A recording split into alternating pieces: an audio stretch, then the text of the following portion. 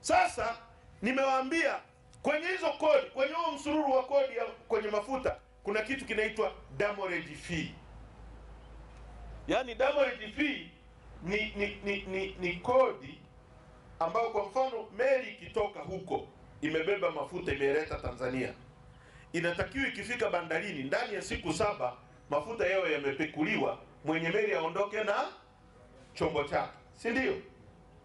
Sasa demurrage fee ni kodi inayolipwa, yani nyie mnalipa hiyo kodi ili kumlipa yule mwenye meli ikitokea siku saba zimeelapse, yani zimepita kabla mafuta yajashushwa.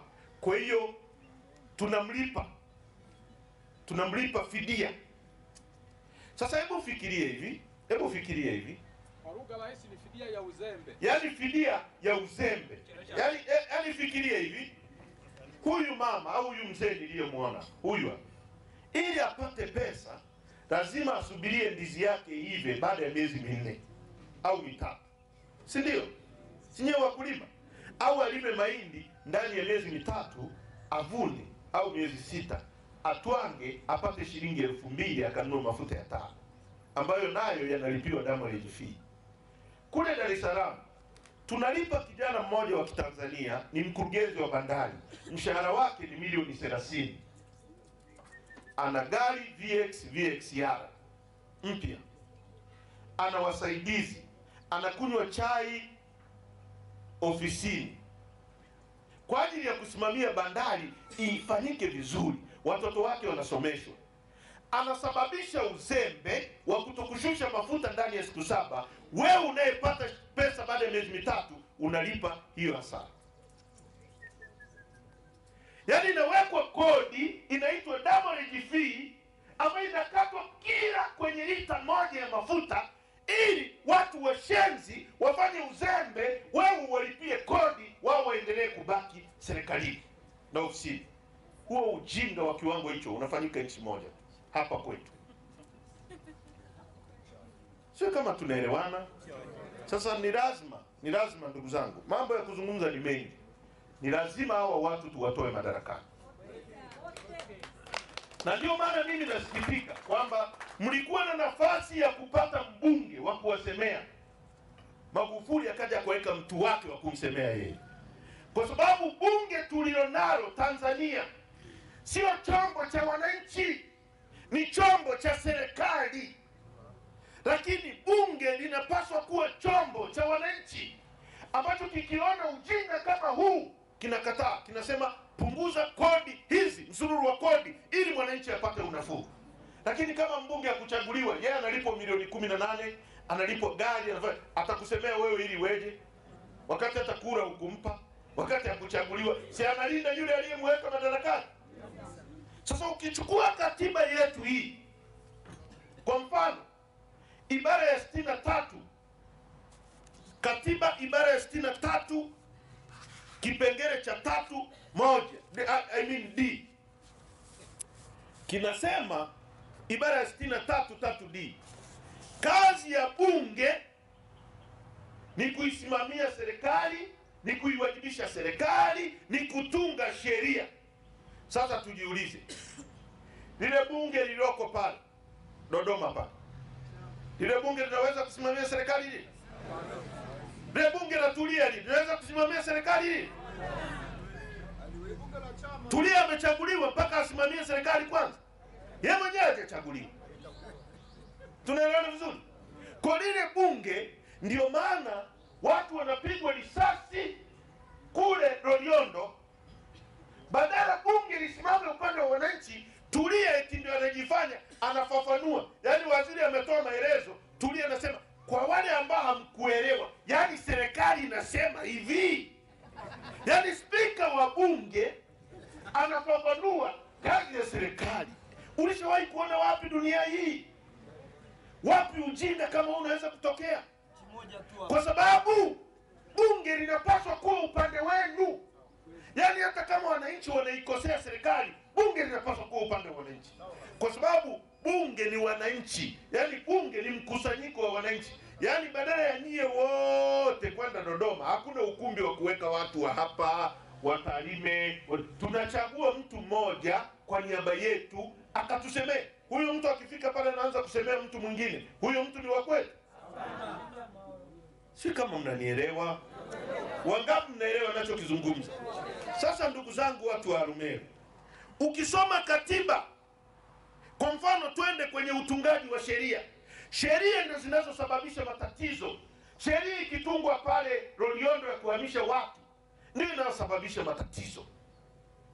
Sasa ukisoma ibara ya sitini na tatu ukisoma ibara ya sitini na nne ukisoma baru, ibara ya tisini na saba ibara ya tisini na saba nitawasomea. Bunge linapaswa kutunga sheria, lakini kimsingi kinadharia bunge linapaswa kutunga sheria na linaonekana linatunga sheria, lakini kiuhalisia bunge la Tanzania linatunga sheria. Kwa sababu mswada mswada wa, wa sheria unaletwa bungeni na serikali kutoka kwenye baraza la mawaziri. Nisikilize vizuri, yaani baraza la mawaziri ambalo mwenyekiti wake ni rais ndio wanaoleta mswada bungeni kwamba sisi tunaleta sheria inasema moja mbili tatu. Wabunge wanaenda bungeni pale, in fact wanakuwa wanatoa mapendekezo tu.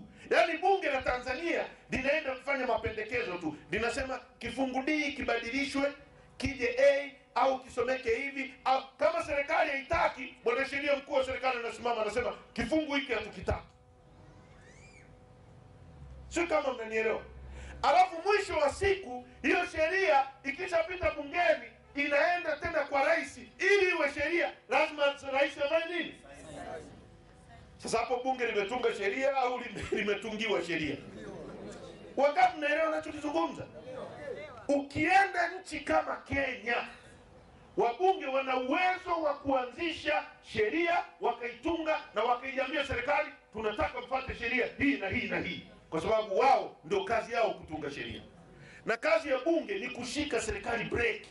Serikali ikipitiliza, bunge linashika kidogo. Kipindi cha Samueli sita mliona bunge linaanza kutoa makucha, ifukuza wa mawaziri kipindi kile walioenda kupiga watu kwenye operation Tokomeza, lakini bunge lilofuata la yule mtu mfupi yule wa Dodoma Jobu Ndugai useless, na bunge litakalo kuwa useless zaidi ni la huyu mama Tulia Ackson. Sasa bunge haliwezi kutunga sheria. Bunge linaonekana linatunga sheria kinadharia, lakini kivitendo alifanya nini? Kwa sababu alijaanzisha, rais ndo anakaa na kabineti yake na mawaziri wanasema tupeleke mswada huu. Yaani wewe ulishawahi kuona wapi? Kwa sababu sheria ni chombo cha kukulazimisha usifanye kitu fulani. Sasa ulishawahi kuona wapi serikali inajitungia sheria halafu iwe nzuri kwako kwa- kwako mwananchi? Kwa sababu duniani kote serikali ni chombo cha mabavu na wananchi wanapaswa kukishika breki. Sasa serikali ikileta sheria bungeni, hiyo sheria ni nzuri kwako au kwa serikali? Ndio maana wao wanasema eh, hata ardhi yote tunayokalia eti ni mali ya, ya serikali kupitia rais.